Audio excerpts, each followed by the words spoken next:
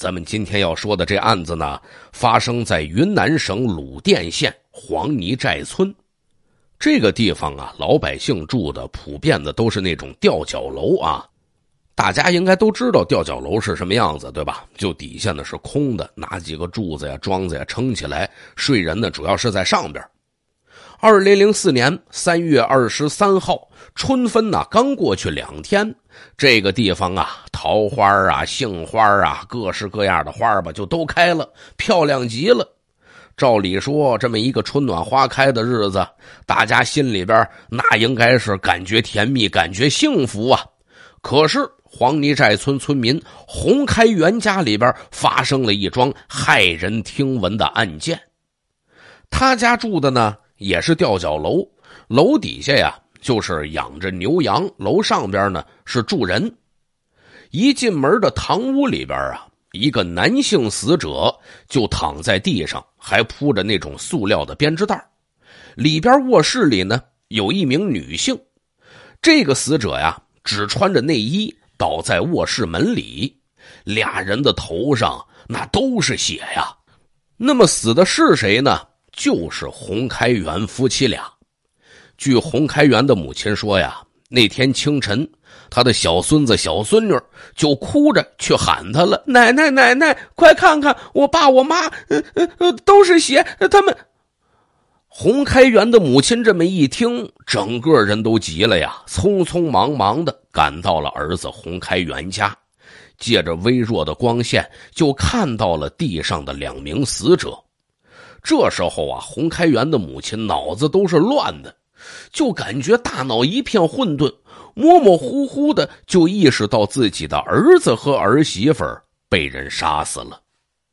洪开元是洪家的二儿子。洪开元的三弟当时二十岁，一大早听到声音，也跑了出来，跟着母亲进了洪开元的家。洪家母亲和洪开元的三弟都说，他们发现两名死者之后啊，心里很害怕，很快就从屋里出来了。出来之后，在院子里边那是嚎啕大哭，一边哭一边喊：“来人呐，救命啊！开元夫妻俩被人害死了。”村民们听见声音呢，都赶了过来。村民们来了之后，也吓得够呛。有的热心的村民呢，还问：“哎呦，这怎么回事啊？呃，那什么，呃，娃娃怎么样啊？呃，养的那牛，呃，偷走没偷走啊？”洪开元的妈妈就说：“孩子没事那牛羊的也没事通常咱们说杀人那三种情况，对吧？仇杀、情杀、为财杀人。”这么一个普通人家，除了牛和羊之外，没有什么值钱物件。这牛羊呢，也没弄走。那么说为钱杀人，应该不至于。至于说情杀，这洪开元夫妻俩结婚呢，正好七年。结婚以后，两口子感情好极了，没听说在外边有什么那种不清不楚的事儿啊，所以情杀的概率也不大。那么他们有没有什么仇家呢？村民们就反映说，这两口子呀，人都不错，没什么仇家，怎么就突然遇害了呢？啊，看为财杀人、情杀、仇杀，到现在来看，貌似哪个都不是。到底是谁杀的他们呢？村民们呐，七嘴八舌的商量着，随后就要翻过山头到镇上派出所报案。正走到村口，就碰上了乡司法所的所长，叫杨德武。杨德武啊是有手机的，赶紧拿手机就向派出所报了案了。派出所一听，这重重大山封闭的这么一个小山村里，村民家就一下死了俩人，这是特大命案呢。派出所知道自己呀也不一定能搞得定啊，遇到这种特大命案，一定要层层上报。随后就报告县里的刑侦队，刑警们也赶到了现场。就在洪开元家堂屋里的小桌旁边，警方呢找到了一把沾满血的斧子。这把斧子经过辨认就是洪开元家的，但是呢。零四年那时候啊，技术有限，尤其在这样一个比较偏远的地方啊，那么警方的这种刑侦科学技术啊，也是普遍落后的。所以按当时的条件来说，没法对斧子上面的指纹进行采集。在这堂屋的墙边那儿有一团被褥，那床单上啊也有很多的血，有些呢是喷上去的，有些呢是滴上去的。但是翻来翻去也没有发现有效的指纹，当时也是检测不出来。在当时的凶案现场，公安局没有采集到嫌疑人的任何指纹，也没有完整的脚印，更没有后来诸如什么 DNA 采集这种条件了。经过专业的法医鉴定，两名死者身上啊有多处钝器伤和锐器伤，都是因为外伤。导致开放性颅脑损伤、颅内出血、颈总动脉横断，并失血性休克死亡。说白了，就是脑袋啊都让人给砸坏了，这脖子这大动脉都让人给切断了。这些损伤就应该符合是斧头打的，或者是拿斧头那个刃面砍的啊。这种情况下所形成的损伤，按照洪家人的说法。一男一女两口子都死了，那么这凶手会是谁呀？洪家人说了，他们怀疑呀是洪开元的老丈人叶顺清干的。那洪家人为什么要怀疑亲家叶顺清呢？是因为就在前一晚上，洪开元的老丈人呐来到了女婿家，洪开元的父亲。还跟这老亲家一块闲聊了一会儿呢。就在洪开元的父亲离开儿子家的时候，两个孩子呀已经上床睡觉了。洪开元的妻子呢，正准备打地铺，让洪开元跟叶顺清睡在地铺上，女人跟俩孩子呢睡里屋卧室。也就是说，前一天这叶顺清很可能睡在了洪开元家。但是第二天一大早，洪开元家一男一女夫妻俩都死了，俩孩子倒是没什么事那老丈人叶顺清不见了呀，因此他就成了最大的嫌疑人了。警方啊，立刻赶到了叶顺清家去找他去，但是叶顺清的兄弟们都说：“哎呀，他呀前一天走了，一直没回来呢。”听这警方一说，叶顺清被怀疑是谋杀女儿女婿的凶手，叶家人都觉得不可思议，不可能，肯定不是他干的呀！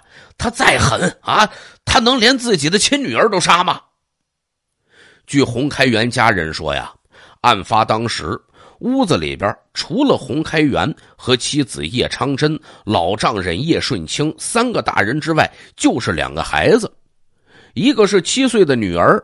一个是五岁的儿子，早上啊，天刚蒙蒙亮，这俩孩子哭着喊着到奶奶家门口敲门。后来呢，大人们也问这俩孩子到底怎么回事啊？孩子就说呀：“爸爸妈妈吵架，呃，进屋一看见人，就就这样的，就就没气儿了。”就案发当天下午两点，警察对洪开元七岁的女儿也进行了询问，并且留下了笔录。警察就问。你起床之后见到什么了？我见我妈睡在地上，我喊了五六声，她没答应，我也没去推我妈，我就跑去找我奶奶了。案发当天下午五点，也就是上一次询问之后三个小时，又对七岁的女儿进行了询问。那么这回这孩子是怎么说的呢？我起来发现房门是开着的，呃，大门是关着的。我家门呢是那种一碰就锁上的那种锁，我用手就在那儿要开那锁，锁上那颗钉钉就开了。我跟弟弟就哭着去喊奶奶了。这边对这孩子进行着询问，另一边啊，一路民警四处在找寻叶顺清的亲戚朋友，可是都没发现叶顺清的行踪。正当人们议论纷纷的时候，法医公布了一个让人非常意外的消息：说死者呀，因为当时在案发现场，让人砍的血肉模糊，身上全是血，所以呢看不清楚。送回去之后，洗干净了，清理干净了，发现头发是花白的，皮肤弹性很差，看上去应该是一个五六十岁的人。而当时警方报给法医的说，死者是二十多岁的洪开元。这么一来，这死者可就不是二十九岁的洪开元了，而是他四十九岁的老丈人叶顺清。为了确认这一点，警方呢又组织了几波村民，对清理之后的遗体进行了辨认。您各位听友可能有疑问啊，即使说。血肉模糊了啊！怎么你还认不出来一个年轻人跟一个老头的区别呀？啊！尤其洪开元他妈认不出来这是自己儿子还是呃老亲家呀？啊！从当年的录像之中啊，能够看出来，村子里边呢，男性的年轻人，包括中老年人，衣服啊都是以蓝色、褐色、黑色自己织的那种布为主。洪开元跟老丈人呢，身高啊。只差五厘米，再加上尸体啊已经被砍得血肉模糊了，有可能在当时惊慌的情况之下，洪开元的母亲和弟弟没有认清死者。这母亲和弟弟都没认清，那其他的村民就更甭说了。这结果一出来，案情立刻有了重大的转变。大家怀疑的凶手洪顺清，现在却变成了死者受害者。而之前人们认为的受害人洪开元，却在案发之后不知去向，可能是真正的嫌疑人。这时候啊，警方只能是重新梳理发生的一切情况，得到的一切线索。不过，到底洪开元去哪儿了？查来查去，始终查不出来个眉目。时间呢，就这么一天天过去了。杀害叶顺清和叶长珍父女俩的，是不是洪开元呢？上期节目咱们说到了，因为当时呢，刑侦科学技术有限，警方啊虽然没有放弃查案，但是始终也找不到洪开元去哪儿了。这起案子的侦破工作始终也没有突破。当时这个案发现场前前后后，警方勘察过无数次。这个房子呀，从案发之后啊，外观上来看似乎没什么变化。但是出了事以后，再也没住过人了，谁也不敢来这儿住，只是呢用来堆放牲畜的草料。那大门呐，关闭状态之下是没有缝隙的，相当的严密，整个门上也没发现被破坏的痕迹。那到了这房子里边，就房间的门啊，包括那门销已经断裂了，说明有人从外边使用暴力把这房间的门呐强行破坏掉了。而女性的尸体当时就是在这儿被发现的，也就是说，洪开元的老婆当时就是在这儿遭到了砍杀。里边卧室的门被踢坏了，叶长珍在门里遇害。凶手呢，在门上啊留下了那种擦滑性的半个鞋印啊，就是蹭了一下的那种鞋印但遗憾的是，这样子的鞋印警方还是没有办法提取。除了门之外，所有的窗户都是完好的，也都是完全封闭的。再加上这吊脚楼的那大门也是完好的。如果说从外边来看，特别像一起密室杀人，对吧？警察后来在村子里走访调查的时候，还了解到了一个新的情况：说案发前一段时间呢，洪开元家里发生了一系列让人感觉不愉快的事儿。怎么呢？在案发前两个月，村里十几个年轻人约好了一块儿去昆明打工，洪开元呢也跟着去了。那是他第一次出门打工，但人其他人呢都找到工作了，洪开元一个人没被工头选中，当时连回家路费都没了，还是跟同村人借的，一个人就回了村子了，可以说是灰头土脸吧。说回去之后啊。脑子好像就坏掉了。洪开元回到家里，家人和村民就感觉洪开元有点不对头了，并且洪开元总是怀疑自己的妻子有什么事儿，就发生了一些让人啼笑皆非的事情。比如说有这么一件事儿洪开元夫妻俩呢一起帮助另外一家村民呢种土豆，甭管是种土豆还是干别的事儿吧，洪开元呢总得跟着自己的媳妇儿。但在村民和家人看来，洪开元的妻子叶昌珍是一个非常老实、非常正派的女人，根本不可能有那样不清不楚的事情发生。就在案发那天白天，洪开元夫妻俩为这个呀又吵了架。老丈人叶顺清正是为这事儿晚上到女儿女婿家去劝和的。当地警方啊，对这个案子啊可以说是百倍的用心，但是始终没有个结果。一晃七年时间可就过去了。洪开元家女人死了，男人跑了，两个年幼的孩子跟着爷爷奶奶也慢慢长大了。俩孩子呀，从来不敢在大人面前提起当年的事儿。后来女儿啊，在面对新闻媒体的时候还说过：“时间长了嘛，就没有那种感觉了，只不过是过去的事情了。”儿子说呢，很想爸爸妈妈，难过的时候也没人安慰。洪开元的老岳父一家那更是惨呐，已经是人去楼空。叶顺清和大女儿叶长珍都死了。叶顺清的老伴在案发之前就患有很严重的疾病，脑子呀就不是特别清楚。后来呢，就跟着自己在昆明打工的儿子就搬走了。从案发之后这么多年，每年警察都得到洪开元的父母家探寻一下洪开元的下落，但是一直没有消息。案发七年之后，二零一一年，鲁甸县呢召开全县网上在逃人员的家属动员会，再次把洪开元的老父亲就请过去了。警方呢就动员家属们：“你们呢，都劝劝那些在逃人员回来自首。”这时候，洪开元父亲的内心呢，其实非常的忐忑。为什么呢？因为洪开元逃跑期间。跟他联系过，洪开元就在另外一个县打工呢。洪开元的父亲叫他回来过，但是洪开元不回来。洪开元说了：“我在外头混一天是一天，万一被抓到，我也就认了。”不久，警方通过蛛丝马迹发现，洪开元跑到了云南巧家县的一个小镇上，也更名换姓了，不叫洪开元了，自己又起了一名字叫郑大伟。在一家五金店帮人打工。二零一一年三月份，警方顺利的将洪开元抓获。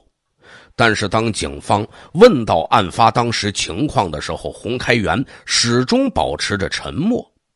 警方问洪开元案发之后为什么要逃跑，洪开元呢也进行了辩解。当时他就说呀，他怕看见血，然后就跑了。洪开元在接受警方问询的时候，能说清楚案发前一晚一家人是怎么睡觉的，也说得清楚发现屋子里两名死者之后自己是怎么逃跑的。但就是这两名死者到底是怎么死亡的，整个案发过程是什么，他怎么也说不清楚。根据村民的说法，洪开元和妻子在案发之前的确多次发生矛盾。但是对于这些情况，在看守所里面的洪开元一概否认，说没矛盾。得知洪开元被抓的消息之后，洪开元的女儿啊，只是在那儿哭，一句话也不说。由于村民们呢都说洪开元在案发前一段时间对妻子无端的猜忌，行为很怪异。并且对于妻子和老丈人的遇害过程，洪开元一直说不清楚。警方就觉得有必要对他进行精神病鉴定，就感觉他是不是真的精神有问题呀？洪开元呢跟警方说了这么一句话：说当时啊是我女儿抱着我说别打了，这才把我叫醒的。二零一一年十二月份，还有二零一二年八月份。公安机关先后两次请司法鉴定机构对洪开元做精神病鉴定，鉴定意见都认为洪开元精神状态正常，没有精神类疾病。但毕竟两次鉴定距离案发时间已经太长了，七八年了。当时洪开元的精神状态，你很难用现在的这个结果去认定。这期间呢？公安机关两次把案件移送到了昭通市人民检察院，检察院又两次做出了补充侦查的决定。因为现有的证据啊，你没有办法完全排除别人作案的可能，你也没有办法确定嫌疑人洪开元当时的精神状态，所以呢，这是事实不清，证据不足。如果说确实要证明洪开元故意杀害了两名受害人，那么还得收集相关的直接证据，或者排除别人的作案证据。这一次补充侦查之后，还是没能收集到更多的证据，所以这才建议公安机关做撤案处理。但警方压力也很大呀，这么大的案子，如果撤案了，怎么面对受害者家属啊？当年案发之后，洪开元一跑，甭管是村民，甚至洪开元自己的爸爸，都认为就是洪开元干的。因为在场没其他人了呀。再说了，要不是你干的，没事你跑什么呀？这就是我们经常所说的，在很多案件里啊，我们看到很多新闻报道之后，从我们的主观上来判断就是他了。但是在法律上，你任何人的主观判断都没用，必须要有充足的、充分的、客观的证据。我们之前呢也给大家讲解过啊，一个是客观的证据，一个是嫌疑人的口供。那么这是两种前置条件吧？原则上来说，如果说有了充分的证据了，证据能够达到一个完整的、精确的呃证据链条，那么没有口供也能够定罪。可是如果反过来，只有被告人的口供，没有其他的证据和事实能够证明被告人的口供，那么我们国家的法律规定是非常明确的，不能够定罪。这也是为了最大程度的减少一些冤假错案。为了调查清楚案发当时究竟发生了什么，警方呢重新制定了审讯方案，多次给洪开元呐做思想工作。因为警方也考虑到洪开元为什么顾左右而言他，始终是支支吾吾，是不是有着心理顾虑？警方呢也就跟他说：“你要是老老实实的配合，老老实实的交代，以后孩子读书的时候遇到什么事情，我们能够帮助他。”你们家庭条件很贫困，老人通过民政救助政策啊，也能够让你放心。开元呐，你别忘了呀，死的毕竟是孩子的妈妈和孩子的外公啊啊！你对孩子也得有个交代呀。反正就各种各样做工作呗，最终触动了洪开元的心灵了啊！二零一三年一月十号，洪开元第一次交代了自己杀害两名死者的行为。洪开元说：“呀，他认为老岳父平时对他有不满意的地方。案发那天清晨，他跟老岳父起床之后，心里一冲动，拿起斧头对老岳父就进行了伤害。”洪开元交代案情之后。公安机关在二零一三年二月和四月两次委托司法鉴定机构重新对洪开元的精神状况做鉴定，结论都是洪开元作案时意识清晰，有现实动机，作案之后有潜逃行为，辨认能力和控制能力完整，评定为完全责任能力。洪开元交代之后，警方又带他去案发现场进行指认。他指认那天呢，山上下起了铺天盖地的大雪。洪开元交代说，他打伤老丈人的时候，他的媳妇儿听见动静了，从卧室门口探出头来。洪开元又气势汹汹的奔向了妻子，在指认现场。洪开元指的死者倒地的位置、凶器丢弃的位置，以及门上那擦蹭脚印的位置，还有其他描述，和警方在现场当年的勘查是一致的。洪开元当年作案之后啊，把斧子丢在一边，把女儿和儿子送出了门，自己沿着小路这才逃跑了。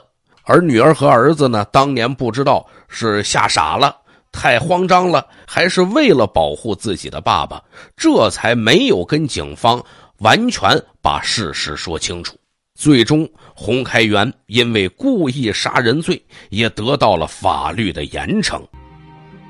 一九九五年一月二十八号，黑龙江鹤岗市南山矿发生了一起枪杀十一人的恶性抢劫案件。罪犯抢劫的目标是当晚存放在小仓库的将近百万元的工资款。顾名思义，这笔钱原本是打算第二天发给煤矿工人的工资，但却在当晚成了不法分子抢劫的目标。在一月二十八号当晚，四名歹徒全副武装，驾驶着抢来的汽车，冲进了南山矿存钱的小仓库，跟安保人员。展开了一场枪战，其激烈之程度，其反转之程度，就像是电影里的警匪火拼一样。而最终这场枪战导致十一人死亡，其中甚至还有一个年仅十岁的孩子。不过奇怪的是，在这场枪战结束之后，警方在收拾尸体的时候，发现有一具被烧毁的尸体。却一直没有人前来认领，他的身份一直搞不清楚。那么这具无名尸体到底是谁呢？这伙穷凶恶极的歹徒又是什么来头呢？竟敢跟这手里有枪的南山矿安保人员去直接正面冲突呢？今天咱们就来说一说这起著名的幺二八鹤岗抢劫大案。一九九五年一月二十八号，这一天正好是农历腊月二十八，还有两天就过年了。傍晚六点，黑龙江鹤岗市跟其他地方一样，到处都洋溢着喜庆的氛围。鹤岗的煤矿产业相当发达，有“煤城”的称号。不过，在这个时候，有不少煤矿工人还没有回家，他们在等着最后两天发工资。等拿到了钱，置办点年货，再回去跟家人团聚。但是谁都想不到，这其实只是一场暴风雨之前的宁静。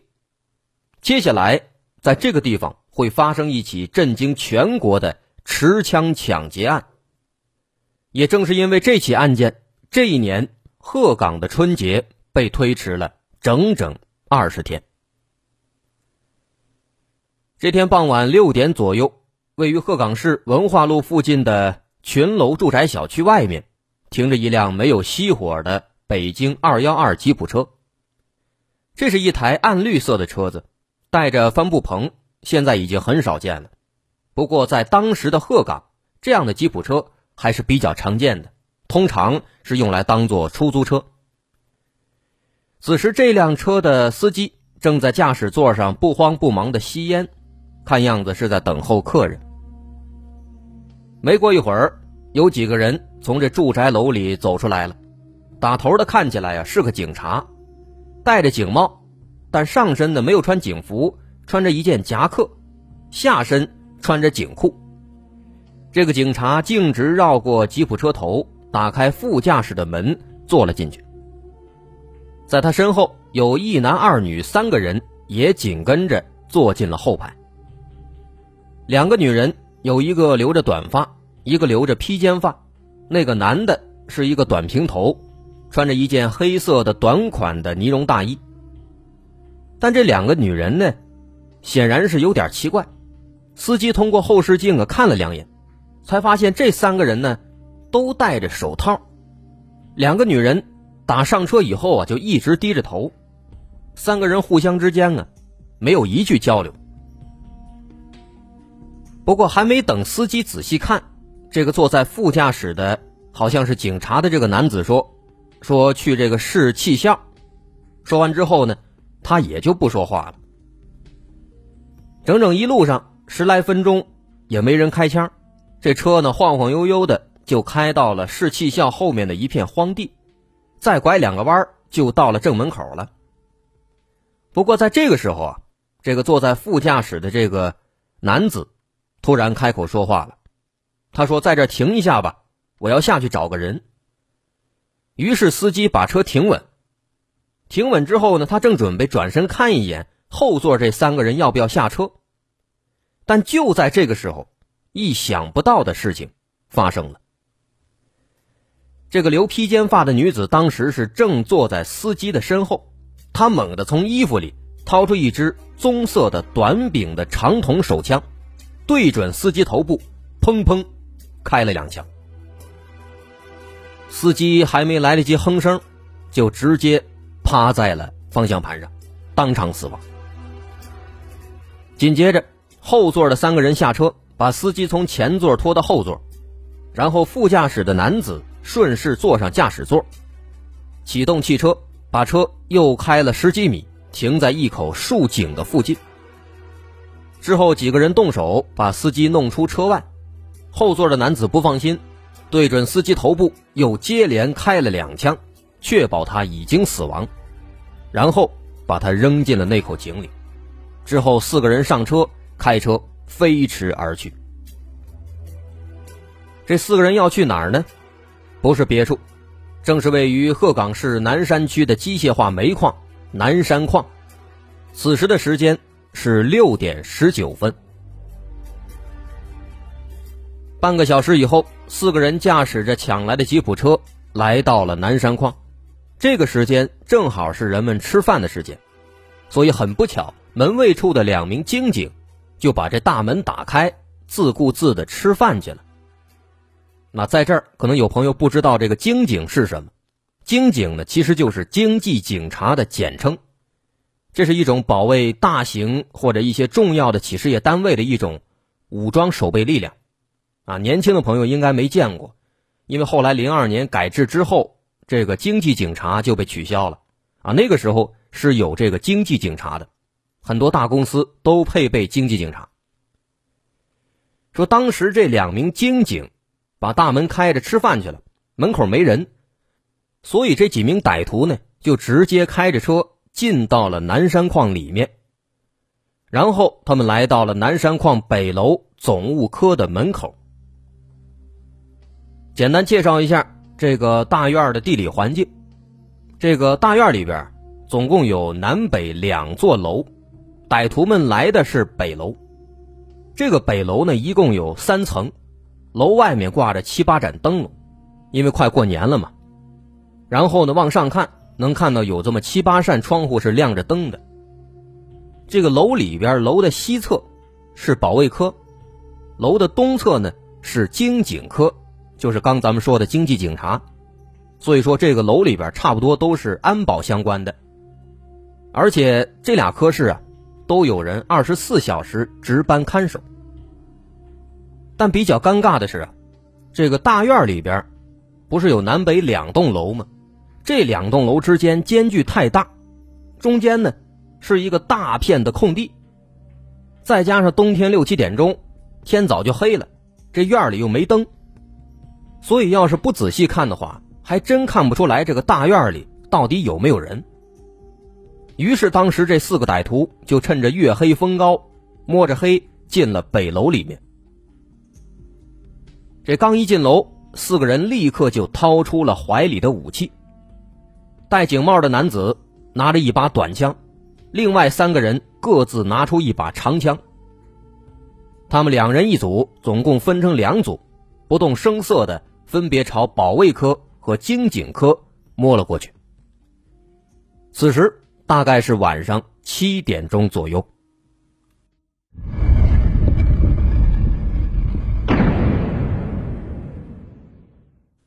咱们先来说经警科这边，当晚值班的经警刘东升是这起事件的幸存者之一。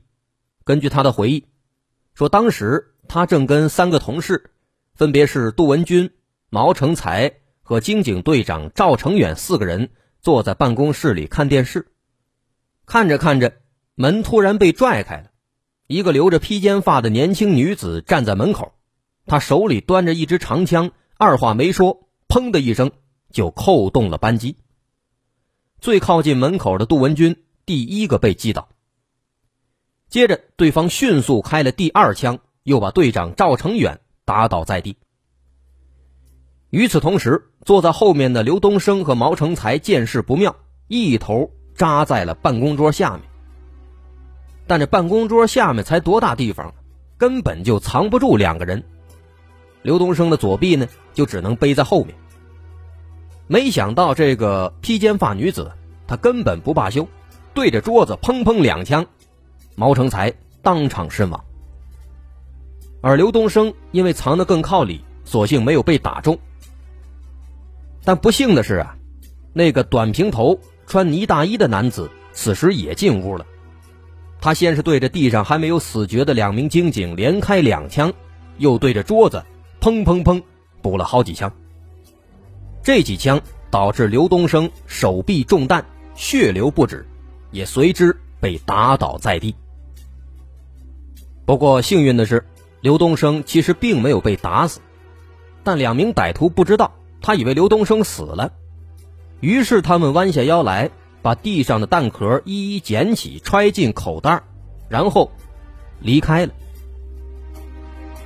就这样，前后只有十几秒的功夫，就已经有四个人倒在了血泊之中，造成了三死一伤。而与此同时，第二组歹徒，也就是另外两个人，他们也摸到了。大楼一楼西头的保卫科的门外，这个保卫科的房间结构啊比较特殊。一打开门进去，这是一间会议室，会议室里面有扇门，通向的是保卫科的值班室。进到值班室之后呢，还有一扇门通向一间小仓库。为什么保卫科它设计的这么复杂呢？因为里边这个小仓库啊是一个十分重要的地方。这里面装的是一麻袋一麻袋的现金，总共是五个大麻袋，垒起来一米多高，里边装了有将近一百万的人民币。这些人民币呢，是为了第二天发给几百名矿工的，这是他们的工资。所以说，这些钱必须要放到最安全的地方。那外人想要进来，就必须先经过会议室，再经过值班室，然后。才能到这个小仓库。说当时这个走廊东头经警值班室那边枪响之后，这边这个短发的女子也端着枪率先就冲进了保卫科的值班室，接着砰砰两枪，屋里两名保安当场死亡。这个女人打完第一波，然后那名戴警帽的好像是警察的男歹徒走进来，对着两具尸体。又补了几枪，防止他们没死绝。那么说到这儿呢，可能有朋友会感到好奇了，说这个保卫科这么重要的地方，看着这一百万的现金，那按理说应该是重兵把守，那为什么这个值班室里边只有两个人值班呢？而且两下就被打死了，好像没什么战斗力啊。原来啊，毕竟这临近过年了。大伙这心思早就回家了。当时值班的呢，确实不止这两个人，一共是有六名安保员。但是除了被打死的这两个安保员之外啊，其他四名安保员其实都跑到里边这个小仓库里去打牌去了。就这样歪打正着，当时呢就捡了一条命。说当时这四个人啊玩的正开心呢，忽然就听见。大楼东边经警室那边好像有枪声。一开始以为听错了，可是没等几秒钟，隔壁的这个保卫科值班室也传来了枪声，这给大伙吓坏了。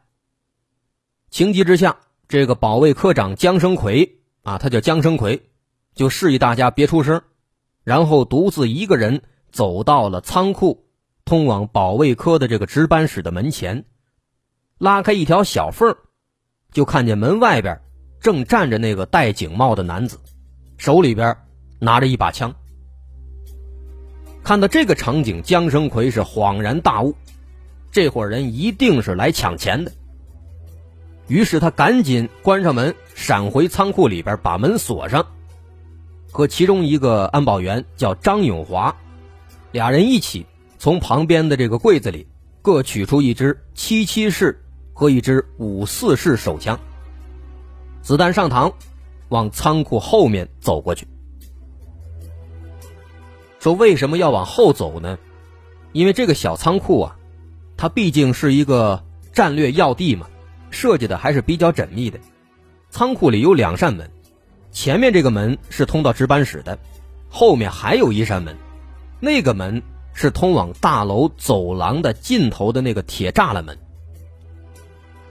所以当时这个江生奎、张永华俩人拿着枪就走在前面，去这个后边这个门，想在那出去。然后另外两名没有枪的安保员，一个叫张国明，一个叫陈学礼，他俩跟在后面，然后从这个后门就悄悄出去了。从这扇门出来以后呢，他们没打算跑，而是又绕回到了会议室门口。哎，这个有枪的张永华和姜生奎俩人来到会议室门口，一左一右埋伏在门外，准备还击。他们试探着往这个会议室里一看，就正好看见室内那一男一女两个人，正这个拿着枪在那补刀呢。于是姜生奎还有这个张永华二话不说，立即向这俩人开枪射击。而屋里这俩歹徒呢，显然也没有想到会有人从外面袭击他们，所以慌乱之间也拿出枪来展开还击。另外两名安保员。张国明和陈学礼，他们没武器啊，而且看这个情况啊，双方展开了这个互相攻击，歹徒还非常凶狠。这俩人一看情况不妙啊，就赶紧从那个仓库后门原路返回，退回了仓库里面。那退回仓库之后呢，其中这个张国明突然就想到，说这个仓库的铁柜里边还放着一支五六式冲锋枪呢，于是他赶紧把这枪取出来，安上弹匣。交给了陈学礼。紧接着，俩人赶紧打开仓库的门，开枪射击。那么，眼下这个情况，可以说对这四名安保员来说是非常有利的。他们四个人前后夹击，一个在会议室门口，一个在仓库里，而这两个歹徒就被困在了双方的中间。所以说呢，双拳难敌四手，这个情况其实非常有利。但是安保员们万万没想到啊！就在这个时候，这情况转眼之间就翻转过来了。为什么呢？因为此时走廊东头经警科值班室的那名披肩发女人和短平头穿呢大衣的男人，在枪杀了四位经警之后，正向这边赶过来。他们远远看到会议室门外有两个安保员正在往里开枪。于是，这个短平头呢大衣男子就趁其不备，抬手一枪，直接就击中了张永华，把张永华打倒在地。这冷不丁的来了一个突然袭击，把科长姜生奎给打懵了。他一看这情况，张永华已经倒下了，也就是说，现在只有自己可以战斗了。那门外有两名歹徒，门内也有两名歹徒。这个情况对姜生奎来说那是相当的不利，于是赶紧他就随便打了两枪之后，然后就撤向了北侧的过道里的楼梯。而另一边仓库里的陈学礼和张国明，他们毕竟在里面，摸不清对方的人数，也看不到外面姜生奎的情况，所以当时呢，他们胡乱打了几枪之后，也退回仓库，关上了门。那么此时这个情况啊，确实是突然就翻转过来了。四名安保员死的死，伤的伤，而且他们并不知道，在走廊东头经警科的四名同事早就奄奄一息了。面对如此严峻的场面，这几位安保员接下来他们的命运如何呢？他们到底能不能从这几名丧心病狂的歹徒的手下成功逃脱呢？前面说到。一九九五年腊月二十八号的傍晚，有四名歹徒抢劫了一辆吉普车，趁着夜色掩护和安保人员的疏忽，潜入了鹤岗南山矿的北楼。四名歹徒兵分两路，两两一组，一路突袭。第一组突袭了四名经警，造成了三死一伤，但第二组歹徒在保卫科的值班室却吃了瘪，他们刚刚打死两名安保员。就遭到了其他四名安保员的猛烈还击，这双拳难敌四手，眼看着就要把这第二组歹徒拿下了。但没想到，此时刚刚杀完人的第一组歹徒及时赶到支援，给四名安保员打了个措手不及，当场就把其中的一个安保员叫张永华给打倒在地，身受重伤。在这千钧一发之际。江生奎见势不妙，急中生智，赶紧撤退到了通往二楼的楼梯口。而第一组歹徒当中，那名披肩发女子也快步跟上去，在他身后一定距离观察着江生奎的动向。而另一个穿呢大衣的男子也跑向了大楼另外一边的楼梯，防止江生奎从另外一边偷偷溜下来。而与此同时，这个呢大衣男子他也看到了躺在地上已经身中一枪的张永华。此时，张永华血流不止，正在痛苦的挣扎。一大衣男子毫不留情，顺道又开了一枪。就这样，血泊之中的张永华当场死亡。短短几分钟之内，四个歹徒狂风暴雨一般的袭击，就毫不费劲的杀死了六个人。此时，除了躲在楼梯上的江生奎，还有两个活人，那就是躲在仓库里的张国明和陈学礼。但他们俩在仓库里什么都看不见，光能听见枪声大作，却完全不清楚外面是什么情况。而现在这枪声突然停了，他们也不知道到底是哪一方暂时取得了优势，所以谁也不敢开门。而就在俩人疑惑的时候，突然有人在会议室那边开始疯狂的砸门，俩人一听，赶紧把仓库里的桌椅板凳之类的全都搬过来，死死的把大门抵住。而外面这些人砸了半天砸不开，这歹徒也急了，其中这个戴警帽的男子猛地一脚，这一脚下去，在这个门上还真就踹开了一道小口。一看踹开口了，他赶紧拿出了准备好的黄泥炸药。这个黄泥炸药呢，是一种炸矿山的炸药，虽然说威力不如正常炸药，但在小范围之内，这威力仍然是不容小觑的。那当时呢，这个歹徒就想把这炸药啊通过门上这小口扔进仓库里，但是里面这个张国明和陈学礼，他们有一把枪，不停的往外射击。所以一时间呢，这口踢开了，反倒对歹徒们更不利了，他们没法靠近大门了。如此一来，双方就陷入了僵持阶段。此时是晚上七点十八分。其实当时在这栋楼里，并非只有一楼的经警队和保卫科有人，二楼的调度室也正亮着灯光呢。此时。安检科副科长于立斌和另外三名安检员正聚在一起喝酒吃饭。他们在傍晚六点那会儿打来饭菜，吃到接近七点的时候，已经吃的差不多了。几个人都喝了点酒，正准备躺在沙发上休息。而就在这个时候，他们听到一楼传来了枪声。根据安检科副科长于立斌的回忆，一开始他以为听错了。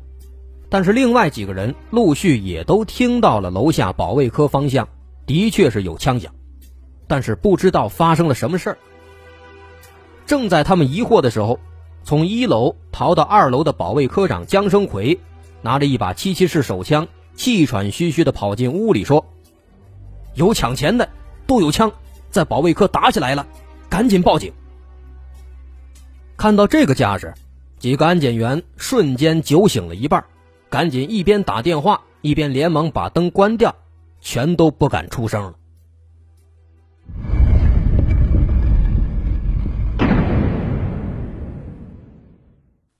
说完了楼里的人，咱们再来说一说楼外的人。因为那段时间南山矿的北楼并不是封闭的，谁都可以随意进出。那么也正是因为可以随意进出，导致又有四名无辜的人。死在了歹徒的枪下。当时前两个进楼的是经警张志国和他的十岁的儿子张雷。这天本来也不该他值班，但在家里吃过晚饭之后啊，他想到单位里边去洗个澡，因为单位里有现成的澡堂子，洗得更舒服。于是妻子孟淑琴就让他把十岁的儿子张雷也带着一块儿去洗一洗。起初，张志国不答应，儿子张雷呢也不愿意出去，但是孟淑琴说什么也不同意，非让爷俩一块儿去洗一洗，毕竟单位上这大澡堂子，那洗着肯定舒服。张志国无奈，只能带上儿子一块出门了，但没想到这一走就再也没能回来。当时这父子俩来到单位澡堂子之后啊，因为池子里边刚刚换了新水，孩子张雷怕烫，怎么也不下去，磨蹭半天没洗成。张志国一看，索性啊，让他穿上衣服，跟着自己先到办公室里去看会儿电视，等这水晾凉了再回来洗。于是他们收拾好东西，就来到了北楼。那当时父子俩进入大楼的时候。恰好那几分钟没人开枪，所以张志国根本就没有察觉到异样，像往常一样，领着儿子向京警值班室走去了。但他万万没想到，此时那个穿呢大衣的男歹徒正把守在京警室的外面呢。张志国走过去拉开京警室的门，发现里面没开灯，但电视机屏幕上呢却播着节目。这个时候啊，其实张志国已经开始意识到这情况有点不对劲了，但是已经为时已晚。身后那个呢大衣男子迅速冲进来，对着张志国立即扣动扳机，砰砰两枪，张志国摔倒在地，当场死亡。紧接着，歹徒对着年仅十岁的张雷也扣动了扳机，子弹瞬间就贯穿了张雷的胸膛。这对可怜的父子就这样死在了这里。在父子之后，第三个进入京警值班室的是另一位京警，叫田丽华。本来当晚他在另一栋楼里值班，但大概在七点十五分的时候，因为感到口渴，但是恰好屋子里边没水了，于是就和同事打了个招呼，到北楼的水房来找水。可没想到，刚进楼就被倪大衣歹徒盯上了。但因为走廊里没有灯，他自己是浑然不知的。他也是先来到了一楼的经警值班室，但刚打开门，他就发现了异常，于是赶紧转身。不过这歹徒早有防备啊，还没等着田丽华看清对方的长相，两发子弹已经打进了他的胸膛，田丽华当场死亡。而第四个进入北楼的，也是一位经警，叫宋诗平。他呢，没有值班，他也不是来洗澡的，他是因为家住的离单位很近，晚上吃完饭了没事干，感到无聊了，就想着到矿上呢来加加班所以说，这个宋时平那就更加无辜了。他本来当时啊，也压根就没打算进这个北楼。但在路过的时候呢，他在外面听到这楼里有动静，就打算进去看看。那这个北楼呢，除了正门之外，还有一个后门。宋世平当时是从这个后门进到了这个楼道里，而且还一边走一边喊：“说有人吗？出什么事了？”那这边歹徒刚刚杀死田丽华，刚从京警值班室里出来，正好跟这个宋世平就撞上了。把歹徒也吓了一跳，他赶紧把枪举起来就要开枪。好在宋时平身手还算敏捷，一看情况不对，赶紧往回跑。而歹徒第一枪呢，也果然没打着。但这歹徒实在是太过凶狠，他马上就追过去了，第二枪直接把宋时平也打倒在地了。紧接着又对已经躺在地上的宋时平接连开了两枪。导致他当场死亡，而另一边正是靠着同伙接二连三的开枪杀人，给戴警帽的歹徒争取了几分钟的抢劫金库的时间。而金库里面的安保员张国民和陈学礼还在进行着殊死抵抗。歹徒一看这实在是没法把大门炸开啊，只能转换思路，就想着能不能把这墙给炸个洞呢？于是，他就把这黄泥炸药贴在墙上，然后退出门外，把这引线也牵出来，在门外一按开关，只听得里边轰的一声巨响，然后歹徒欣喜若狂地冲进会议室里，一看，傻眼了。他是万万没想到啊，这炸墙比炸门难多了。这面墙上只留下了一个五厘米深的坑，根本就没有炸穿。那事情到了这一步，歹徒们终于有点慌了，已经浪费了太多时间了，而且炸药也用了，枪里子弹也不多了，而仓库里那安保员呢，还在不停的向外射击。另外，刚刚上楼逃跑的队长江生奎，现在肯定也已经报警了，如果再耗下去，对他们只会更加不利。于是，歹徒当场决定终止这次行动。也许是因为没有抢到钱，心有不甘，也有可能是为了毁尸灭迹。歹徒临走之前，在经警值班室里放了一把火，没几分钟的功夫，火烧得越来越大，看着差不多了，戴警帽的歹徒一声令下，几个人迅速撤离。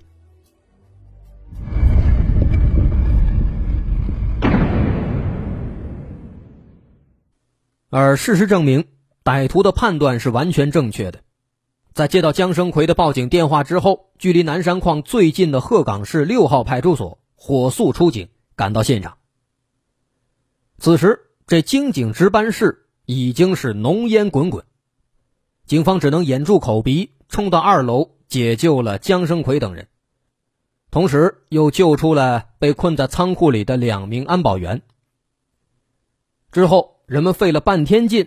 才把这经警室的大火扑灭，但是眼前的景象让他们痛苦万分。经警们的尸体横七竖八的躺倒在血泊里，早就已经死绝了。而就在大家悲伤的时候，突然从一张桌子后面伸出来一只黑乎乎的手，这给大伙吓了一跳。原来啊，这正是侥幸逃过一劫的。刘东升，前面也说了，当时他被倪大一歹徒击中手臂，导致他身受重伤，趴倒在了地上。而歹徒以为他被打死了，于是歹徒先撤退了。刘东升呢，虽然自己想跑，但是奈何手臂受伤，很难起身行动，所以就一直躲在了桌子下面。也正因此，他目睹了歹徒如何枪杀其他四个人的。残忍的经过。最终，警方和矿上的其他人员合力清理出了总共有十一具尸体，这其中还包括那个年仅十岁的孩子。谁都没想到，为了保卫这将近一百万的现金，竟然付出了如此之大的代价。此事一出，震惊全国，鹤岗市公安局紧急成立了破案指挥部。一定要在最短时间内抓住这几个穷凶恶极的歹徒，而警方在第一时间也封锁了现场，然后找到了保卫科长江生奎来辨认死者身份。江生奎来到这十一具尸体面前，经过逐一的仔细辨认，辨认出了其中十具尸体，这十具尸体都是自己的同事和同事的孩子，也就是那个张雷。但奇怪的是，逐一辨认之后，他发现有一具脸部已经被烧得面目全非的尸体，已经无法辨认了。于是江生奎就拿出了当天晚上的值班人员的花名册来一一核对。但是很快在核对之后，他就发现了一个奇怪的情况：除了已经死去的同事得到确认之外，花名册上的其他人员。此时，都毫发无损的站在自己面前呢。那么这就奇怪了，这具被烧毁的无名尸体，他又是谁呢？而与此同时，警方还注意到了，在北楼前面有一辆停在那儿的吉普车。没错，这辆车就是凶手开来的那辆抢到的吉普车，在逃跑的时候。他们显然没有开走，而经过警方辨认，也确认这辆车并不是矿场内部人员开来的，所以警方推测这辆车只能是歹徒开来的。但是歹徒把这辆车开来了，却为什么没有把它开走呢？歹徒没有把车开走，歹徒又是如何逃跑的呢？难道说有人在外面接应他们吗？毫无疑问，此时各种各样的问题涌上了所有人的心头。这伙歹徒他到底去了哪儿了？这具无名尸体究竟又是谁呢？警方到底能不能通过蛛丝马迹，最终查出这起案件的真相，把这四名歹徒悉数抓获呢？这些事儿啊更有意思了，但鉴于内容太长，所以放到下回咱们再接着说。在上回咱们说到九五年一月二十八号这天，四名乔装打扮的歹徒偷偷溜进了鹤岗市的南山矿。为了抢劫存放在仓库中的几麻袋现金，跟矿里的经警和安保员展开了激烈的枪战。但最终，他们因为没能抢劫成功，只能放火逃跑。这场持续时间并不长的枪战，一共造成了十一人死亡，其中还包括一名年仅十岁的孩子。但奇怪的是，在十一具尸体当中，有一具脸部已经被完全烧毁的无名男尸，他并不属于矿上的安保人员。那这个人他到底是谁呢？在这起事件发生之后，可以说是惊动了鹤岗市上上下下几百万人，甚至就连远在北京的中央领导也意识到了这起案子的严重性。当地警方的压力非常之大，再过两天就要过年了。要是不能在最短的时间内把凶手绳之以法，过年期间人口流动频繁，再想抓他们，可能就难了。于是幺二八专案组迅速成立，三管齐下：一是详细的勘察现场留下的所有痕迹，包括脚印、鞋印、指纹、枪支弹药等等所有可以提取到的物证，看看现场是否还丢失了什么东西。第二，要对歹徒的逃跑路线以及那辆停在现场的吉普车进行分析，尝试在最短的时间之内找到这几名歹徒的来去路线。第三，就是要想办法搞清楚那具无名尸体到底是谁，这也是目前最为重要的一个问题。上面这命令一下达，下面的民警和武警立刻忙活起来。巡警、交警、武警立即封锁全市的所有铁路和公路出口，防止犯罪分子外逃。市局各分局也马上组织警力清查犯罪分子可能利用的出租车和公共场所等地。而案发现场这边，停放在北楼楼前的那辆歹徒留下的吉普车，自然就成为了首要勘查对象。打开车门。警方赫然看到驾驶座和后排座位上有大量血迹，车钥匙没有拔下来，车头车尾的牌照也全部都被撬了下来。经验丰富的民警大体可以猜到，这应该是一辆出租车，被歹徒劫持到了现场，而且这位车主很可能已经遇害了。最后，警方在后备箱里找到了被撬下的车牌。紧接着交给其他民警去调查车主的详细信息，对于这辆车的调查这才告一段落。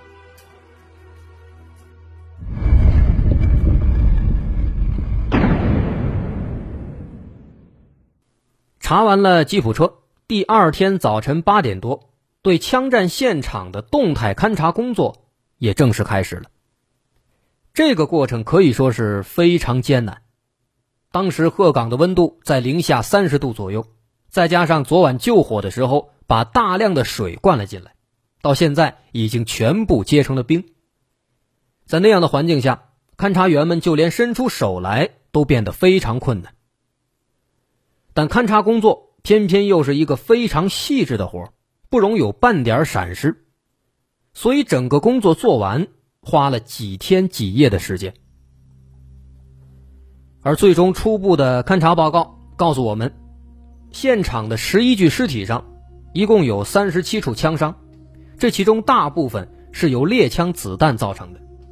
这说明凶手所持的武器应该以猎枪居多，有可能也持有少量的自制手枪。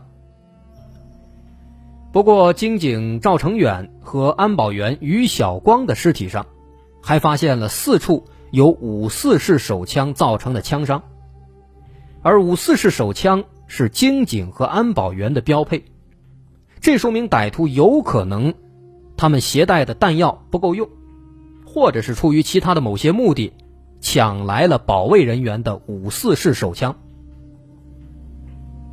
而接下来的勘查。也证实了这一点。赵成远、于晓光和张永华所佩戴的三把五四式手枪，后来发现都不见了，很可能就是被歹徒抢走了。另外需要说的是，那具被烧得面目全非的无名尸体上，也有两处枪伤，但这两处枪伤中弹的部位非常奇怪，一处在右侧。脸部的中间位置，另一处在左眼上。这两个位置为什么说奇怪呢？因为一般来讲，要想杀人灭口，那肯定是往心脏或者往脑门上打。大部分尸体上的伤口也的确是如此，但是往眼睛里打，往这个右脸中部打，这个位置就显得很奇怪了。那么这两个伤口呢，其实也可以说算是一个。小伏笔，因为这个无名尸体的确非常重要，而这两个特殊的伤口也为之后警方揭开无名尸体的身份起到了关键作用。警方勘查之后，这具无名尸体身高一米七三，年龄不详，需要进一步检验才能够知道。在尸体口中，右侧第二颗后槽牙已经脱落，第三颗门牙是树枝做的假牙。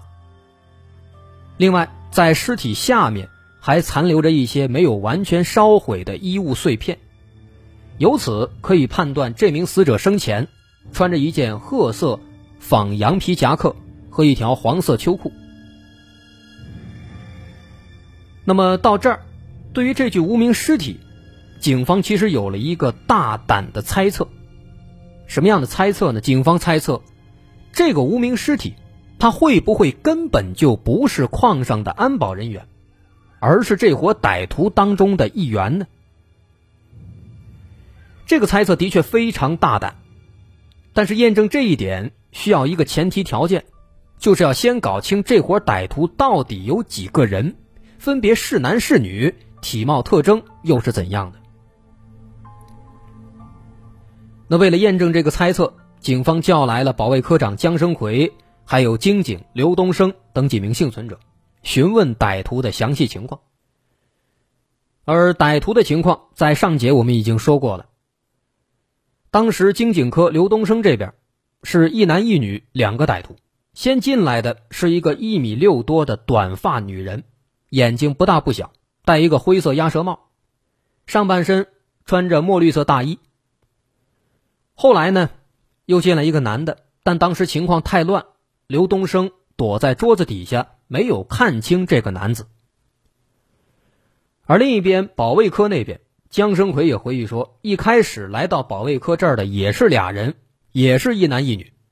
男的穿着警服，有点胖，警服外面还套了一件黑皮夹克，戴着警帽，但这警帽上是一个老式的警徽。这个人身高一米七左右，大概是三十岁，眼睛非常大。另外那个女的，留着很长的头发，长得还挺好看的，但是穿什么她记不清了。另外她记得身高也非常高，一米七左右，啊，这一点呢给江生奎也留下了深刻的印象。另外江生奎还补充了一点，他说当时枪战的时候，因为寡不敌众，他从一楼爬楼梯想往二楼逃跑，当时在逃跑过程当中啊。那个长头发女人在后面紧追不舍，慌忙之中，江生奎就往后面接连开枪，结果开完枪之后呢，对方突然就不追了，捂着这个左肩膀就往后跑。所以江生奎推测呀，当时自己这个枪应该是打中了那个女人，打中了左肩。那这一点呢，他后来也成为了一个很有意思的这么一个，算是伏笔类的线索。那么现在警方这边结合这两位幸存者的描述，判断应该是有四名歹徒，啊，四个人，这个相貌特征各不相同。那么现在问题就出现了。如果警方刚刚的那个对无名尸体的猜测是正确的，就要知道，歹徒来的时候是四个人，走的时候是几个人。如果那个无名尸体真的是歹徒当中的一员，那么歹徒走的时候应该是三个人。为了得到这个答案，警方找遍了矿上，最终终于找到了几个案发当晚待在调度室的目击者。根据目击者的描述，说在二十八号晚上七点二十分左右，他们听见北楼传来了枪声，于是呢，都从窗户往外看。十几分钟之后，他们就看见有三个人从大院的篮球架那边往西走，一开始呢是慢慢的走，后来开始小跑。打头的那个人个头看起来应该有一米八左右，后面第二个好像个子不高。留着长头发，看起来是个女的。还有一个呢，第三个啊，因为天太黑，实在是没看清。所以根据目击者提供的情况，总共四名歹徒，但是他们只看到三个人走了。那么从这一点，其实就已经基本可以推测，那个无名死者很有可能真的是歹徒当中的一员。当然，目前这还仅仅是个猜测。还需要之后更加深入的研究，得到更多证据，才能够得以证明。那么至此，警方就对已经收集到的线索进行了汇总，梳理出了这四名歹徒大概的一个作案路线。首先，这四个人应该是先劫持了一辆吉普车，然后半路把司机杀害，开车来到南山矿。这一点在上集咱们也说了。完全符合。之后，四名歹徒摸进北楼，他们分头作战，两两一组，分别攻击了经警科和保卫科。随后，双方发生激烈枪战，导致两名歹徒伤亡。其中，长发女歹徒左肩中了一枪，但具体伤势不明；还有一名歹徒应该是中弹身亡。最后。四个人在抢劫现金失败之后，剩余三名歹徒为了毁坏死亡的同伙的尸体，同时也是为了扰乱视线，他们放了一把火之后步行向西逃跑。那么此时，警方的任务也很明确了，一个是通过在吉普车里找到的车牌号摸清这个司机的身份，另一个是对这具无名尸体。进行更进一步的技术检测，看看能否得到更多线索。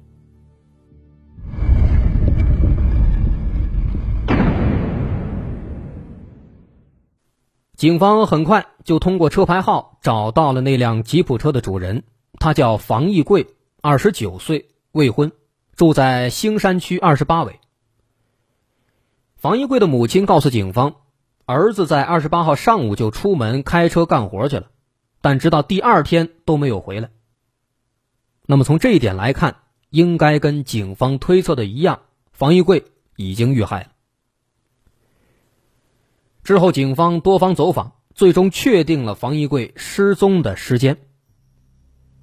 他的一位司机朋友说：“说从二十八号上午十点起，房一贵一直在帮他修车。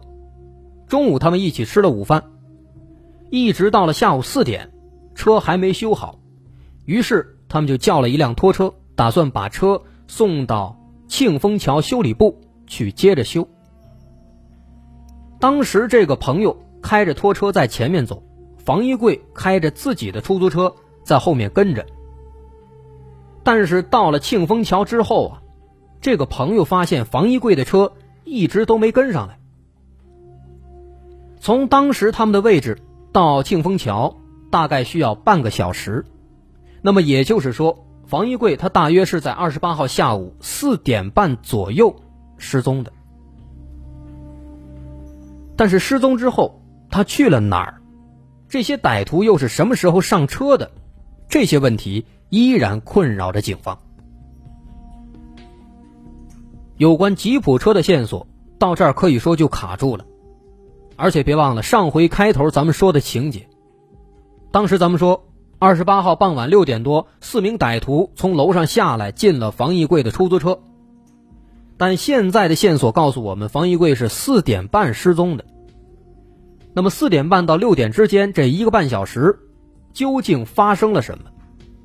难道说防疫柜早在四点半的时候？就已经和歹徒有了接触吗？现在还不好说。那么眼下这情况，歹徒来现场的路线现在是搞不清楚。既然如此，那就从歹徒逃跑的路线开始分析。刚咱们也说了，有目击者看到歹徒往西跑了，而大院的西边有一个小门，所以推测歹徒应该是从这个西侧小门逃走了。那么问题就来了，歹徒当时为什么不开车走呢？况且当时还有人受了伤，开车走应该更快呀。其实啊，这起案子很明显是有着周密计划的，而且他们很可能在南山矿有内应，或者说在这儿有某些消息渠道，不然他们怎么会如此熟悉南山矿的地形，会知道保卫科仓库里有钱呢？所以这一切，包括这个选择从西门逃走的这个逃跑路线，应该都是他们计划好的。他们很清楚，开车逃走目标更大，而且把车扔到哪儿，这也是一个问题。如果把车扔到离住的地方太近了，那毫无疑问太危险；但如果扔远了，这跟没开车有什么区别呢？所以在作案之前。他们已经制定好了完美的逃跑方案，而且从这个大院西侧的小门逃走之后啊，这个位置其实很棒，出门正好挨着三条铁路，沿着铁路往西走，没一会儿就能走上大路。那这也进一步说明歹徒肯定是做了充分的准备工作的。既然如此，警方就沿着歹徒最有可能的这条逃跑路线。开始跟着往西走，展开调查。很快发现，沿着铁路走没多远，有一个小区，这是第二十七委居民楼。警方分析，如果说当时歹徒真的是沿着这条路线走的，那么当天晚上一定会路过这片小区，说不定啊，这个小区里会有目击者。于是警方展开了调查询问，但是很遗憾。问了几栋楼，没有发现目击者。不过就在警方感到无比失落的时候，有几位住在这儿的老太太，给了他们一些新奇的思路。怎么回事呢？说当时有几个老太太在小区里边闲聊，其中有一个老太太听说这个歹徒里有两个女人，就一直表示不相信。说女人怎么可能干出这种开枪杀人的事儿呢？另一个老太太听了之后啊，也跟着附和说：“她说，说不定啊是男的乔装打扮，男扮女装呢。”一听这话，又有一位老太太说了：“她听说啊，有人在那天晚上捡到了一个假发套，不知道那个假发套跟这起案子有没有关系。”听到这番对话，警方连忙问：“说是谁捡了假发套啊？”老太太说：“是住在附近的老许捡到的。”于是警方赶紧就找到了这个老许去了解情况，这才得知了这个假发套的来龙去脉。在案发当晚，二十八号晚上九点多，这个老许带着儿子出门帮朋友修车，儿子扛着东西在前面走。突然，脚底下被什么东西给绊了一跤。老许走近了一看，原来是一个乌黑发亮的假发套。说假发这东西在当年可不是个便宜货，少说也得几百块钱呢，而且卖的地方呢也不多，所以老许当时就把它捡起来，拿回了家里。现在一听警方需要，就赶紧让妻子把这假发套给拿出来了，交给了警方。警方看着手里的假发套，心里也一直犯嘀咕：难道说这歹徒里边根本就没有女人，都是男扮女装进行作案的吗？如果真的是这样的话，那破案的难度肯定是又加大了不少。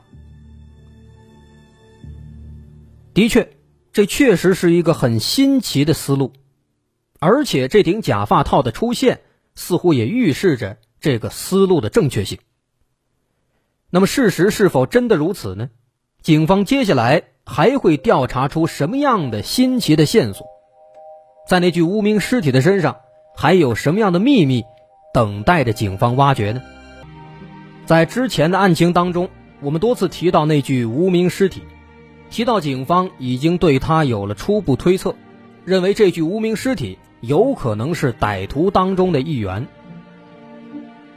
其实就像警方猜测的，这具无名尸体身上的确还藏着太多太多的线索和疑点，而这具尸体也将会成为破案的关键。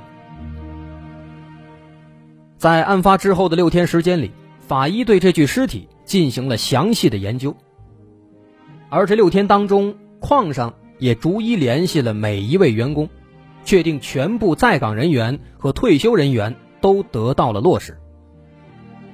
再加上目击者的确只看到了有三名嫌犯离开，两者结合也让警方对尸体的身份的猜测变得更加有可能了。既然这种可能性在逐渐增大，那么对这具尸体的研究就要更加慎重。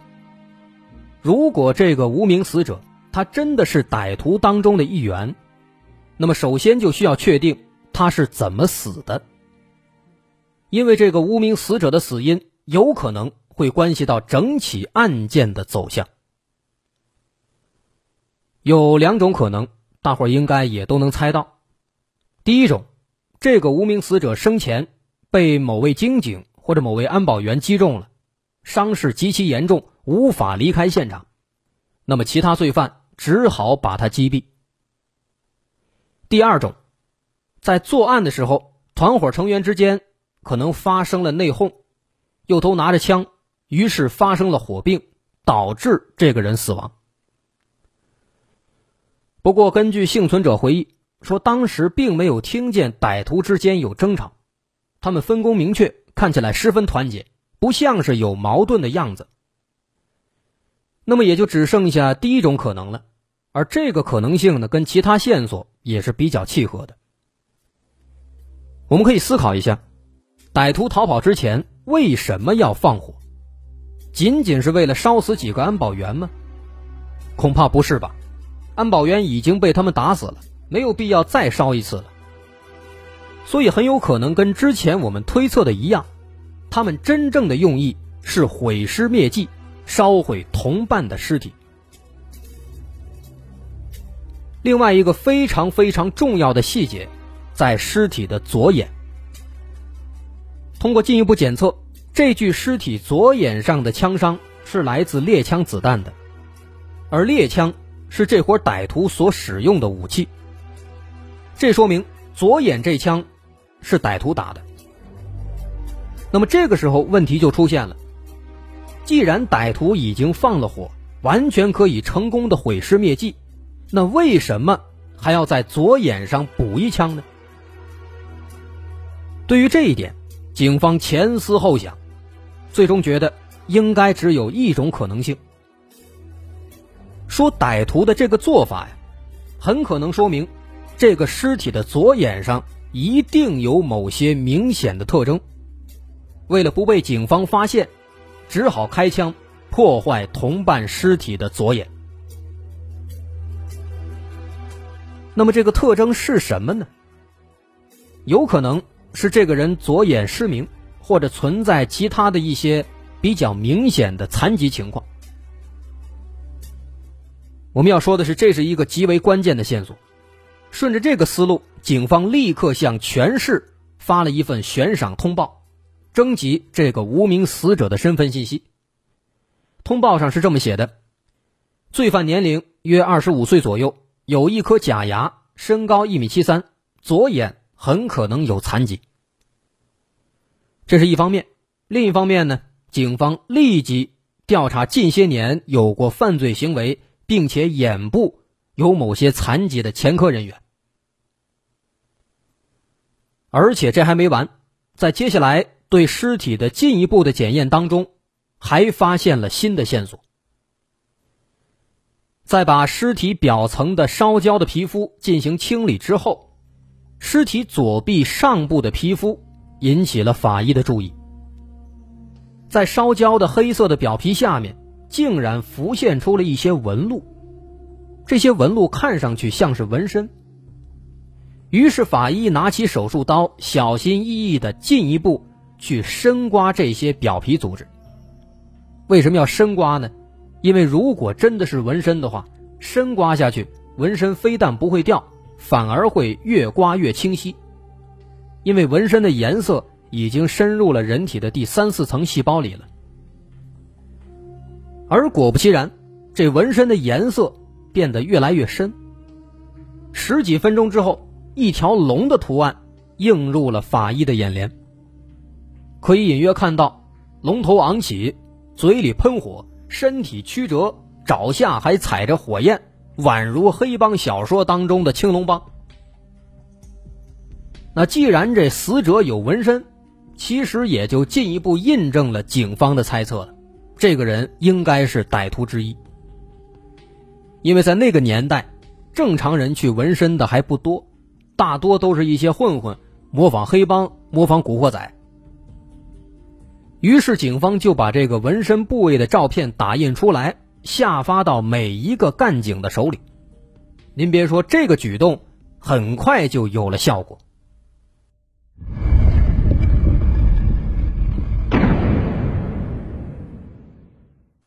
警方在鹤岗市收审所调查的时候，有一个叫李宝利的犯人提供了重要线索。这个李宝利也是二十出头，挺瘦一瘦猴，但是人很伶俐，曾经因为偷铁闸门被关进来了。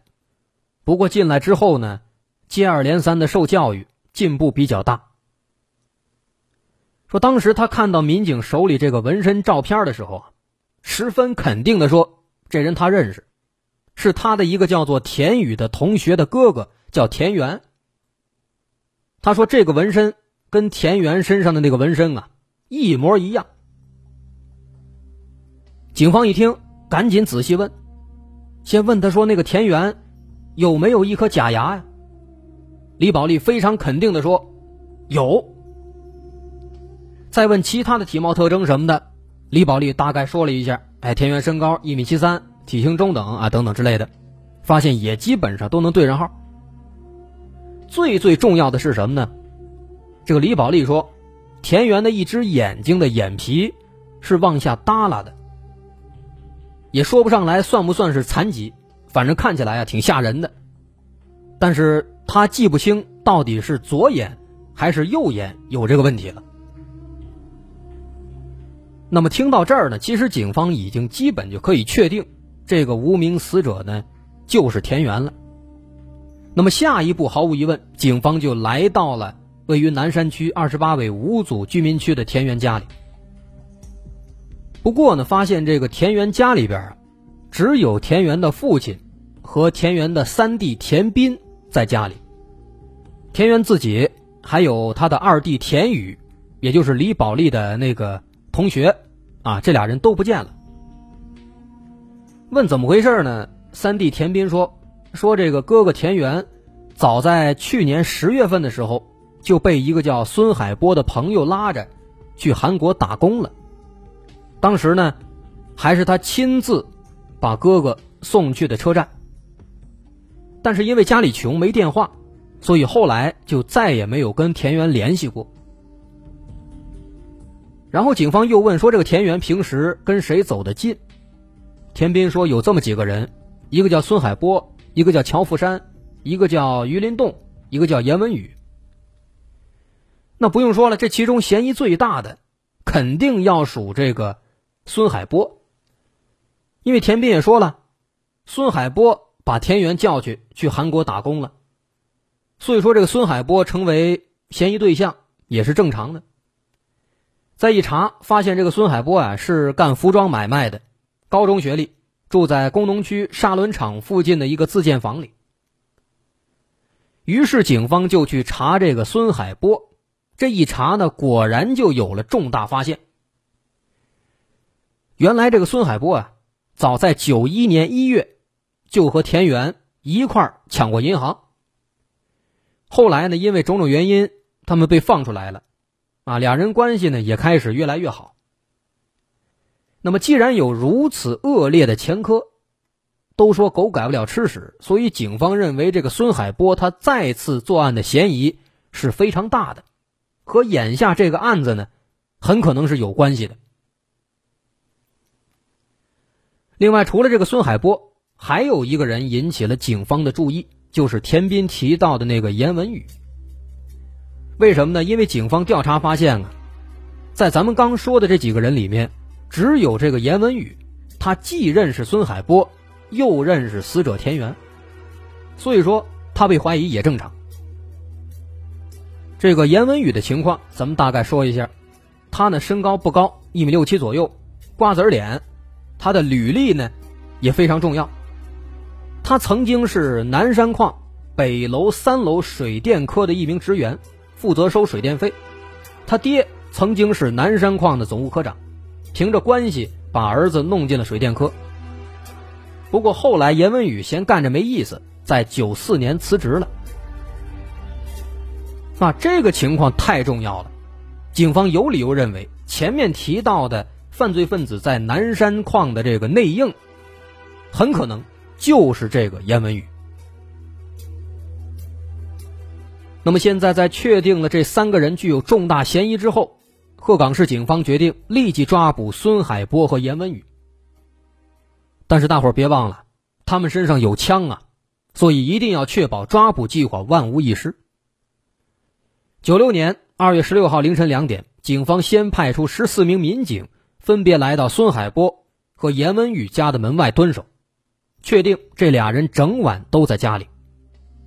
之后早上六点零五分，抓捕队伍分成两组展开突击行动，最终六点三十分，迅速冲进孙海波家，抓住了刚刚起床还没穿衣服的孙海波。之后六点四十分，另一组警力也顺利的抓住了正在睡觉的严文宇。不过经过搜查，在两人家里并没有发现枪支弹药。警方把这俩人押回局里分开审问，但这俩人非常狡猾，面对警方的问题呢，虽然听起来啊回答的挺老实，但是仔细一琢磨，却发现俩人都在避重就轻。当警方问说案发当晚俩人都在干什么，孙海波说自己在家待了一天，洗洗被褥，收拾收拾家里，没有出门。严文宇说。说那天自己去天津做生意了，第二天二十九号下午才回来，回来之后才知道二十八号晚上发生了这个案子。虽然说呢，这俩人啊现在都有这个所谓的不在场理由，但这个情况警方也见多了，光有理由没证明，那这也不能说明什么问题啊。而且很多那种顽固不化的，确实光给你挤牙缝，要么就撒谎。所以，直觉告诉警方，眼前这俩人很可能没有说实话，不能掉以轻心。但是审讯组这边呢，其实也没有什么别的办法，啊，动之以情，晓之以理，轮番审讯，增大这嫌犯的精神压力，好多办法都试了，但这俩人确实都是老大难，折腾半天，愣是纹丝儿不动，闭口不言。那一时半会儿呢，警方也没办法了。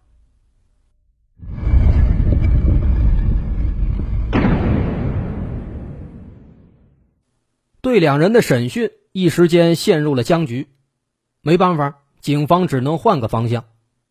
他们去找到了孙海波和严文宇的家里，试图从他们的家人身上打开突破口。警方首先找了严文宇的妻子，叫甄玲，问甄玲说：“说这个抢劫杀人案发生之后，严文宇有没有一些异常的情况？真灵回忆说：“说当时南山矿那案子发生之后啊，身边很多人都在讨论这个案子，那他们家也一样。严文宇当时也跟着讨论了，啊，说这些人也够狠的，简直不是人之类的。总体看起来呢，这个严文宇没有什么反常的现象。那么他的妻子真灵的这番话，可不可信呢？”当时负责询问真灵的这个警员表示说：“这个真灵啊，心直口快，一看就是一个直脾气，而且在这个谈话的过程当中，没有任何迟疑，不像是撒谎。另外说，当时面对警方的来访，这真灵感到非常疑惑，一个劲儿的问说：丈夫到底出什么事儿了？啊，所以根据这个情况呢，综合判断，认为这个真灵说的应该是实话。”那么真灵这儿没什么结果，警方只好再去找孙海波的妻子，叫张慧茹。这个张慧茹的表现跟真灵那可就不太一样了。无论警方问什么，她都是支支吾吾，能不张嘴就不张嘴。而且当问到南山矿发生的那起抢劫杀人案的时候，张慧茹的眼神啊，明显变得很不自在。警方一看。这说明他很有可能是知道内情啊。于是警方在那儿动之以情，晓之以理，又普法又讲道理，开导了半天，他这才说出了自己知道的情况。他说：“孙海波确实挺反常的。在一月二十八号案发当天，孙海波上午十点多就出门了，一直到晚上九点多才回来。进门之后呢？”他看见孙海波脸色煞白，就问他怎么了，但孙海波就说了一句胃疼，说完之后就脱衣服上床睡觉了。第二天早晨十点多才起，起来之后吃完饭就又出门了，下午三点钟才回来。到了晚上，电视里播放这个警方的悬赏通报，说能提供有价值线索的奖励五万块。当时看的这个悬赏通报之后啊。孙海波就问张慧茹说：“说你要是知道这事谁干的，你会去举报吗？”张慧茹当时就开玩笑的说：“当然举报了，五万块不要白不要啊。”孙海波当时一听呢，扑哧一乐，什么都没说。本来以为这事儿就过去了，结果临睡之前啊，孙海波突然跟他说：“说以后不管谁叫门都别开，无论谁问二十八号那天我在哪儿。”都说我一天都在家，没出过门。那接下来的几天当中呢，孙海波每天都是上午十点出门，中午十二点回家，下午就在家待着。唯独正月初八那天，严文宇突然来找他。孙海波一看，就让张慧茹先出去，自己和严文宇在屋里说话，一直说到下午两点多钟，严文宇才走。张慧茹起初一直都不相信这事儿是丈夫干的，但是这么多天下来，发现这个孙海波的行为啊，实在是太过诡异了。直到警方这次来把孙海波带走，才彻底打碎了张慧茹的幻想。那么现在听完张慧茹的交代，警方的心里也是如释重负，这份非常关键的口供。很可能会成为攻破孙海波和严文宇内心防线的重要武器。后来也的确如此，当警方把这份口供摆在孙海波面前的时候，他缓缓的出了一口气，随后只说了四个字：“行，我认了。”这孙海波一认罪，严文宇自知跑不了了，这小子为了自保。赶紧向警方透露了最后一位同伙。原来这个人不是别人，正是田园的二弟田宇。起初警方也不敢确定他说的到底是不是真的，于是呢，就找到了田园田宇田斌他们三兄弟的老父亲去了解情况。因为警方并不了解田宇，于是呢，就着重询问有关这个二儿子田宇的情况。而这一问。警方就得到了一条极为重要，同时也让他们目瞪口呆的线索。老父亲说：“说田宇平时呢有一个让人难以启齿的一个特殊爱好，什么爱好呢？说这个田宇喜欢男扮女装，扮女人，用咱们现在话来说，是个女装大佬。在案发当天，二十八号上午，田宇特地捯饬了一番之后就出门了，直到晚上才回来。第二天上午呢，又说要去一趟哈尔滨。”然后就急匆匆的走了，之后再也没回来。那么得知这个情况之后啊，警方现在也基本确定了，这起案子四名歹徒全都浮出水面了：孙海波、严文宇、田宇和田宇死去的哥哥田园。而最终，鹤岗警方联合佳木斯警方，一举抓获了。正在佳木斯街头流窜的无家可归的田宇。再一看田宇的左肩上，的确有一处子弹擦伤的痕迹，这应该就是江生奎开的那一枪造成的。同时也说明当时那个披肩发女歹徒正是这个女装大佬田宇装扮的。而通过对田宇的审问，他也说出了一件让所有人都意想不到的事情：那个临走之前。在田园身上又补了两枪的人，正是他的亲弟弟田宇。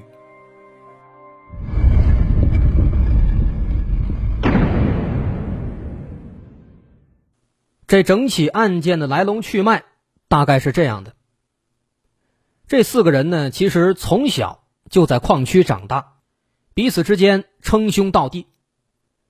作为矿区的孩子，他们十分清楚，每年春节前。都会有巨额的矿工工资款存放在矿上，于是四个人商定之后，选了矿工较多、工资数额巨大，并且严文宇较为熟悉的南山矿作为目标。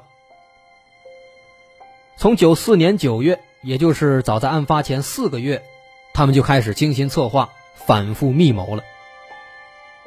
为了制造不在场证据，九四年十月，田园以去韩国打工为由。淡出了亲友的视线，搬进了事先租好的一个平房里。两个月后，平日里卖衣服的孙海波以外出做生意为名，也搬进了出租房里。没多久，田宇也不声不响地搬了进去。不过，这个严文宇他没有住进出租屋，他凭借着曾经在南山矿水电科工作的便利，承担了一项重要的任务，也就是内应。他负责绘制南山矿的矿区地图，并且详细掌握保卫科和经警科两个科室内房间的结构。而在二十八号案发之前，在四个人当中，有田宇装扮成女人，之后让身高同样比较矮的严文宇也装扮成了短发女人。就这样，一切准备妥当之后，这二男二女在当天晚上六点钟。坐上了那个无辜的出租车司机房义贵的车，那么在之后的剧情，咱们就都知道了。另外，在作案之后，他们按照计划是从大院西门逃跑，但是因为过于慌张，田宇的假发套在逃跑的过程当中丢了。那慌乱之中，几个人也顾不上去找，最终就四散逃离了。至于这三名罪犯的结局，其实也不用多说了，毫无疑问，十一条人命，死刑没跑了。九五年三月十一号上午，在省高院召开的宣判执行大会结束之后，这三名罪犯被押赴刑场执行枪决。那么至此，这起惊天大案也终于画上了句号。